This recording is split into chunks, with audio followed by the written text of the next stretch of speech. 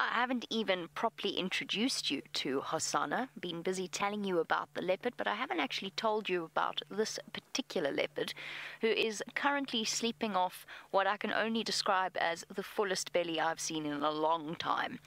You know, when you have a big Sunday lunch or perhaps a big holiday dinner, and you just feel so full of food that you actually can't move and you have to kind of lie on the couch.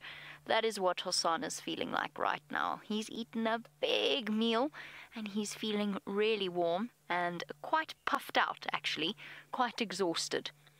Our Hosana is only 15 months old, so he's just a little bit older than a year. And the fact that he's managed to catch and kill his own young impala ram is truly extraordinary. I'm very, very impressed with him. He is a big boy for his age, though. He is quite a big, quite a powerful leopard. And one day he's going to be a very, very impressive male. Now, Marisol, you want to know well, how big do leopards get? Depends on if they're a male or a female. Hosana means little chief, and he is a male, and his sister Shongile is a female.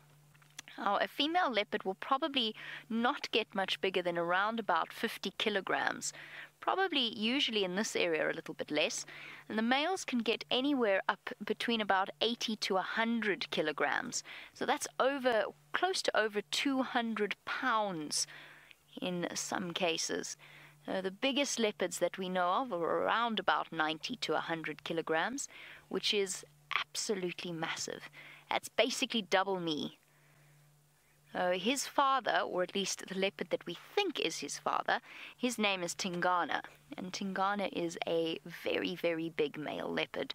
Now, Hosana's got some years before he gets to be that big, and he won't be big enough to compete for a territory until he's at least four years old, and he's only just over a year old now. But it could take him even longer, and he might not reach his full size until he's over seven years old at which point he'll get a really thick dewlap around his neck, which is a flap of skin and muscle. Now, for Raphael, you want to know if leopards ever attack lions? No, because as big as the biggest lion, um, big as the biggest leopard gets, a lion is always bigger.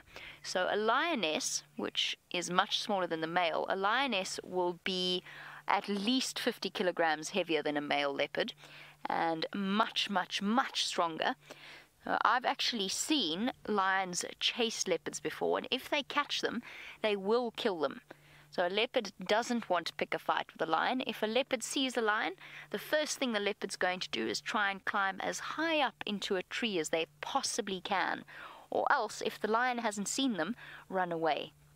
Because all predators will kill other predators. The only time a leopard might fight a lion is if they find lion cubs, in which case they will kill the cubs as long as mum is not there. Uh, speaking of other animals, we of course are a type of animal. And Sienna, you want to know will the leopards chase us?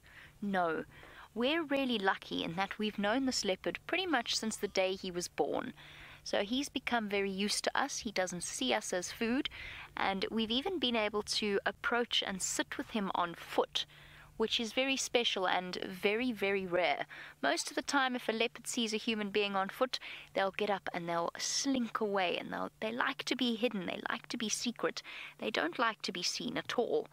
Uh, they will slink off into the distance somewhere.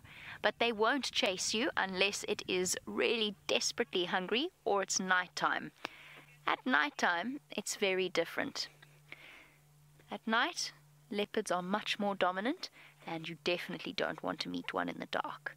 Matthew, you want to know what would happen if I got out of the Jeep right now. I've said that Hosana is comfortable with people on foot, but because he's got his kill here, he's going to be feeling extra protective about it, and I'm very, very close to him, so he hasn't seen me coming from far away.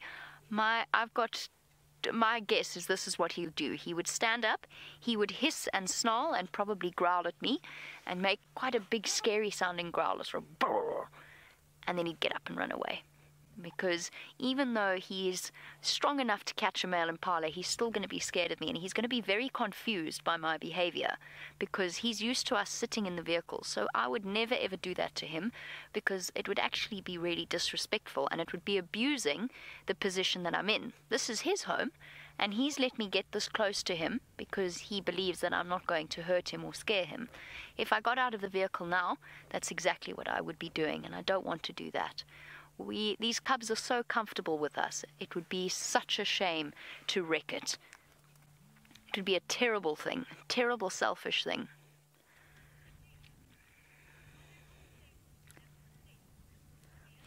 Now, Sophia, you can see he's found himself a comfortable patch of grass. You want to know, are there other places where leopards sleep? Yes, absolutely. Sometimes they sleep in the sandy parts of a dry riverbed. Sometimes they find themselves a really nice place underneath a thick bush, like that weeping wattle that Taylor showed you. And sometimes they sleep in trees. And they're actually quite picky about which trees they sleep in. They like to sleep in trees without thorns, which I guess if I were a leopard, I'd also want to sleep in a tree without thorns. That makes total sense. So these sorts of trees make a perfect hiding place for a leopard. Our leopard will sleep in a tree when it's really, really hot outside because then they've got shade and then they've also got the nice breeze that might not touch them otherwise if they were sleeping on the ground.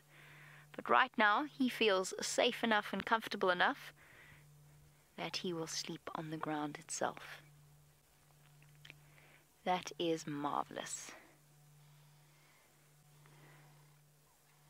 What a special surprise you were, Hosana. I don't think you have any idea. I'm really happy to see him because I haven't seen him in a long, long time. So I'm happy, or at least not properly. So I'm happy to spend a bit of time with him. Oh, that piece of grass was tickling his ear, and he just shifted his paw to get it away from his very sensitive ear.